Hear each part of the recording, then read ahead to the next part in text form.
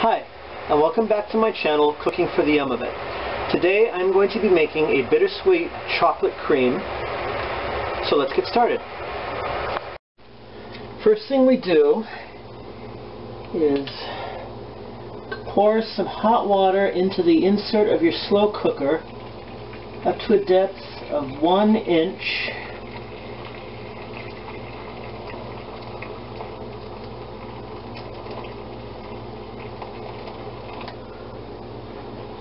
Okay.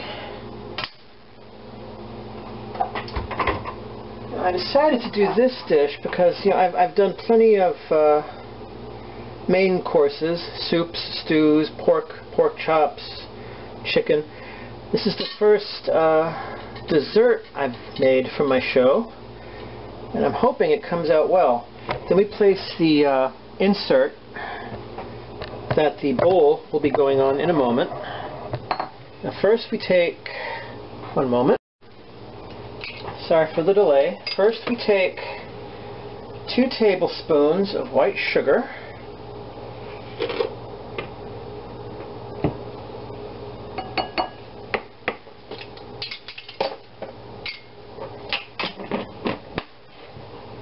put that back. Now we go with three large eggs one,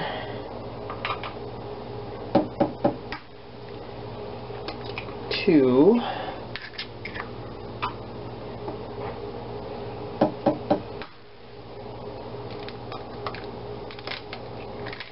uh, it doesn't matter if the eggs, the yolks break or not.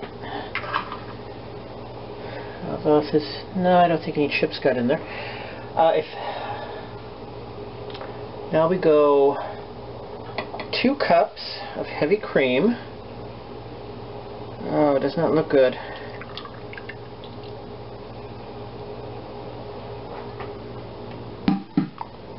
One quarter cup of brandy.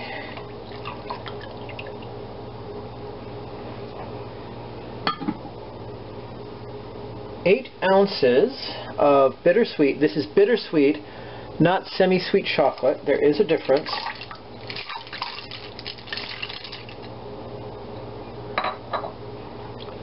and one teaspoon of pure vanilla extract. Okay. Let me get my teaspoon here. Quarter half teaspoon.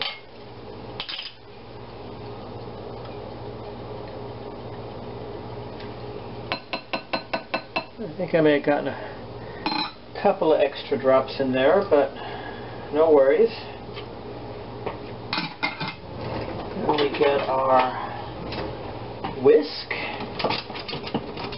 and we, pardon my language, whisk the hell out of it. Oh.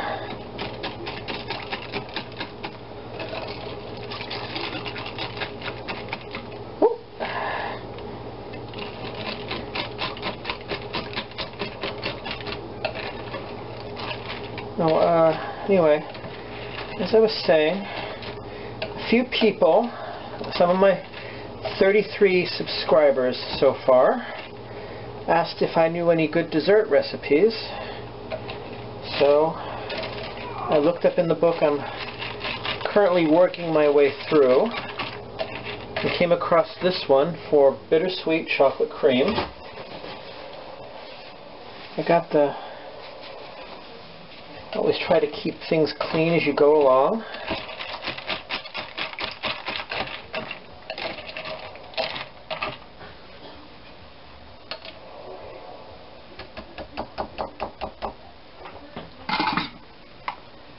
Okay, now let's change a few positions here.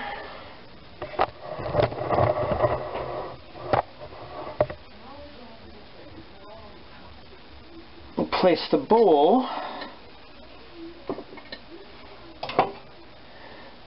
in our slow cooker and place the lid over the bowl, over the slow cooker. And we plug this baby in.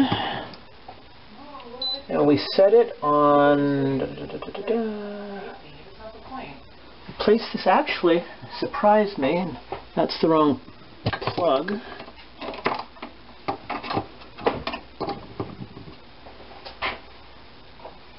Go manual, we place the temp on high, and we start.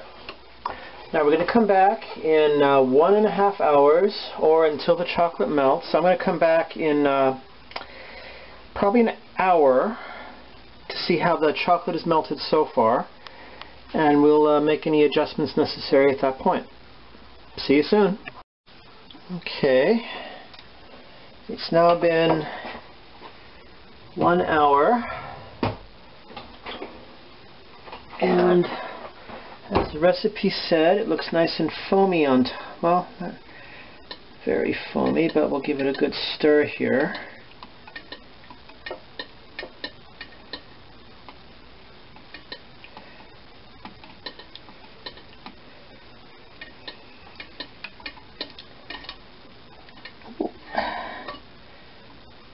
Well, the chocolate does appear to be melting.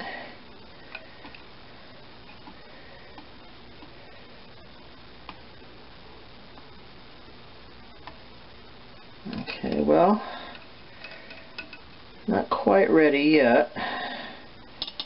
So we're going to give it another 30 minutes and I'll be back then. Okay, it's now been one hour and 26 minutes, not exactly an hour and a half, but I'm not going to quibble over four minutes. This part is just something I'm going to do because I don't want mess, messy chocolate and cream and sugar going all over my countertop. Okay, now let's whisk that up, see how lovely and chocolatey it's turning. The smell is fantastic.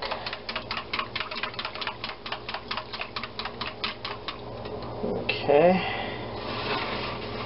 Now this part, ooh, look at that. Yeah, you're still, still in camera range. Okay. I'm going to save that and oh, I can't resist. Mmm, that is good. Now, this is how it was shown in the picture in the book. I'm going to pour this after I get the, because the bowl is very hot. Is going to get poured. Okay, that's one. See, and I was good idea not to uh, do this on the counter because it's going to be a little messy. If this had one of those uh, spouts, it would have worked out a lot. Oh, there's a little bit more I didn't see there.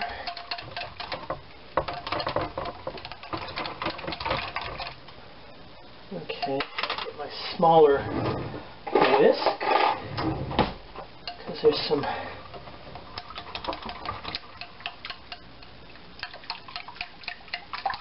there's a little bit there on the bottom that didn't quite get mixed in. I forget what I was saying earlier, but it doesn't matter.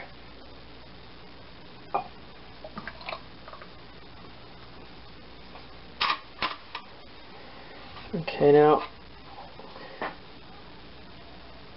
according to the recipe, if I had the smaller size ramekins, this would make enough for eight people.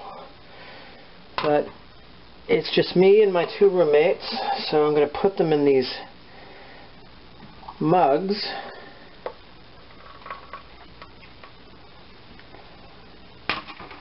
So there's enough just for three. Let me get my uh, scraper and unplug the slow cooker while I'm at it. It's also time to put these oven mitts through the, uh, give them a good wash.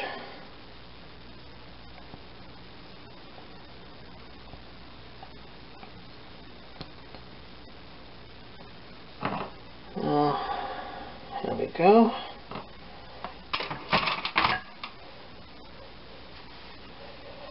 Now, I take these, all three of them, and I will be putting these in the refrigerator for about an hour until give give the uh, chocolate time to set.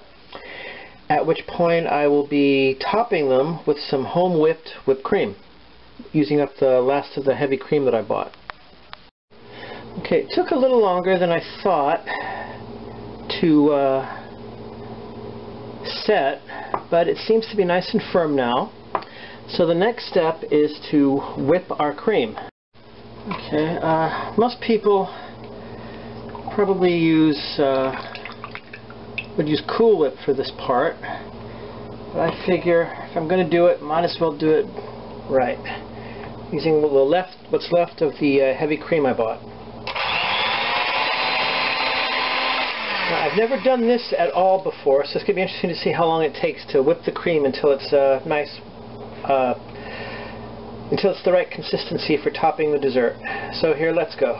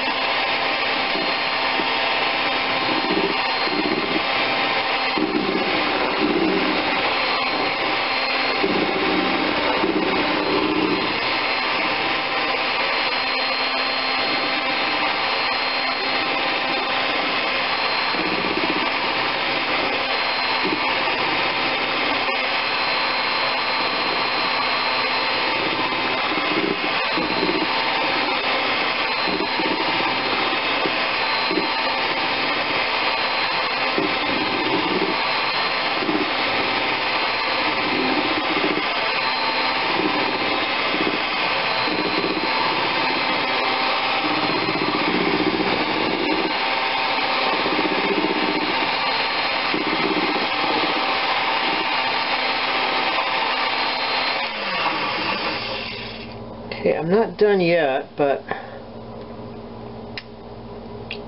mm, you can see that it is starting to get to the correct consistency, but we're going to keep going, and I won't make you watch the whole thing, so I'm going to cut out for a minute. Okay, the cream mm, has now been thoroughly whipped. So our next step is to get our chocolate, our bittersweet chocolate creams, and top them each after I get into the correct camera position. Some of our freshly whipped whipped cream.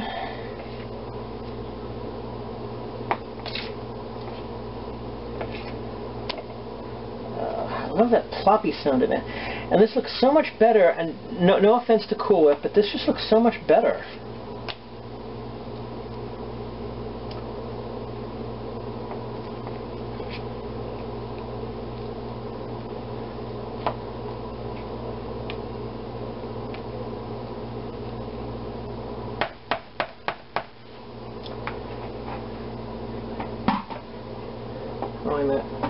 This one could use a little bit more. Oh. I ended up stopping the whipping process before I thought I would need to, so the timer that I had set it for originally has just gone off. So uh, there we are. Let's let's start eating. Okay, now my favorite part of every episode, the taste test. Mmm. Oh, that is, that's heaven.